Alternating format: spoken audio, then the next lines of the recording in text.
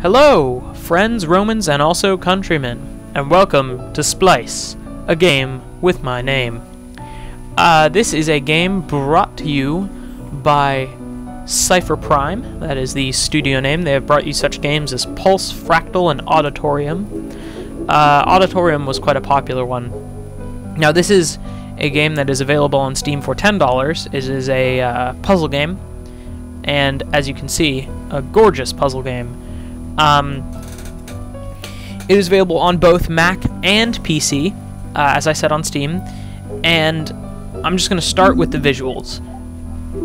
The dynamic menus that you have here, as you can see, where I move my mouse actually changes what the menu looks like or what angle we're seeing the menu from.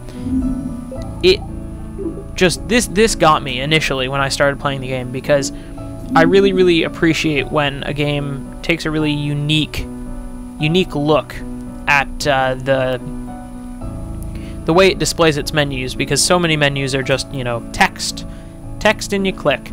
Um, but this has a lot more intrigue to it. And as you can see the menus are behind you so it, it feels like everything's floating around in a, in a space.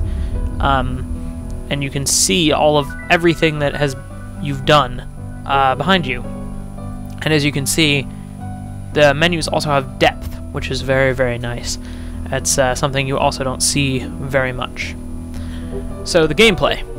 Um, I don't know if you could tell from the first one, but uh, there, those outlined white uh, ovals represent where the uh, genes need to go, and those silhouetted things represent where they can go, and the black things are the genes. And you basically need to match the pattern uh, that is provided by dragging genes and their connected genes on into the shape. Now here I was testing to see what happened if I went over the par, um, which is uh, connected to that base gene there, and evidently you cannot uh, complete the level if you go above the par.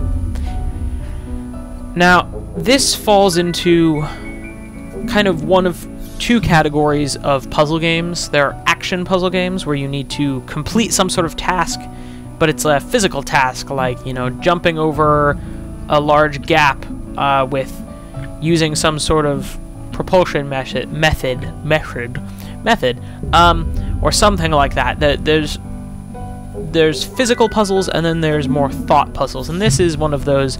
So if you're into the kind of puzzles that you can sit around and sort of casually play with and not have to um, not have to work too hard to uh, to accomplish this is definitely where you want to go. But this does get pretty complex as far as um, thinking ahead and figuring out how you're going to need to take apart these genes to make sure that they fit. Um, so it is a very th thinky puzzle game. There's a lot, a lot of thought that goes into into playing it uh, in the more complex levels. And as I said, you can pick this up on Steam. It is $10, um, and if you don't want to actually buy it uh, at first, you just want to try it out, there is a demo uh, on Steam for free, and it is definitely worth a pickup, I would say. It's a very casual game. Now, I'm gonna, I'm gonna say I don't know if I would say it's worth $10. To me, it's it's a great casual puzzle game. It's a lot of fun. It's it's very unique, but granted, I have not played much farther into the game than you'll see in this video, but I feel that unless it gets significantly more complex and adds more gameplay mechanics. I don't know if I would say it's worth $10, but I would say it's definitely worth at least getting the demo and checking out what this game is about, because I think it's a lot of fun, and if you like uh, puzzle games and are into puzzle games, definitely worth the pickup um, to some extent or another. And as you can see here, I actually was having a little bit of trouble, and I'm sure you guys are screaming at me in the in the comments or whatever, being like, "Ah, you're doing wrong, you're doing wrong." But yeah, um, it, it's definitely worth picking up. And I didn't mention at the beginning of this video, but I will now.